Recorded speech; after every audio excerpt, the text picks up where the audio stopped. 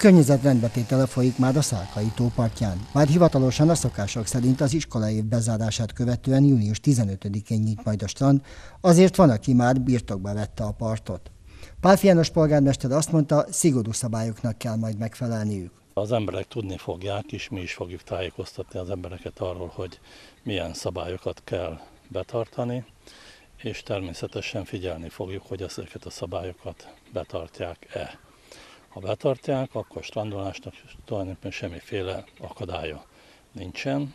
A víz minőségét folyamatosan ellenőrzik, a mosdókban a sport és egészségügyi részleteken folyamatosan fertőtlenítenek majd, mondja Párfi János. Jóval több többlet feladatot fog ez ránk róni, de nyilvánvaló a, a látogatók érdekében ezt meg fogjuk tenni. Véleménye szerint nem lesz kevesebb látogató a megszokottnál. Reményei szerint az emberek vigyáznak majd a szabályok betartására, és így nem lesz fennakadás a működésben.